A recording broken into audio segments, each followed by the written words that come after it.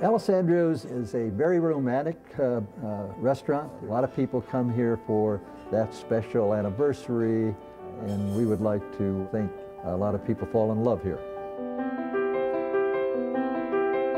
The base of our menu is the classic Italian. We have the lasagna, we have almost any type of pasta you're looking for, change in ravioli uh, almost daily, much of which is made fresh in our kitchen.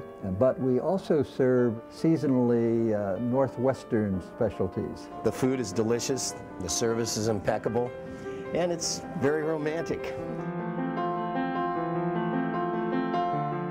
We began uh, adding art to the menu about two and a half years ago to improve the dining experience, and now we sell four or five original paintings or limited edition prints a week. It's where fine dining meets the fine arts. Uh, we are not only the, we like to think the best restaurant in the city of Salem, but the largest and best international art gallery. The artwork displayed on the walls at Alessandro's has always been, it's eclectic, it's interesting, it's easy to come here to get my art education and then have a nice meal at the same time.